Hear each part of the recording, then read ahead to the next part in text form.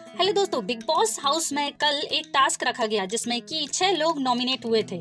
उसने बोला गया था कि सभी घर वालों को आपसी सहमति से दो दो करके अपने पसंदीदा कंटेस्टेंट्स को बचाना है और एक को नॉमिनेट करना है, जिसमें कि छह घर वाले जो हैं वह नॉमिनेट हुए थे और उन छह घर वालों में से तीन जो हैं वह सेफ़ हो गए थे और तीन जो हैं वह बॉटम में थे।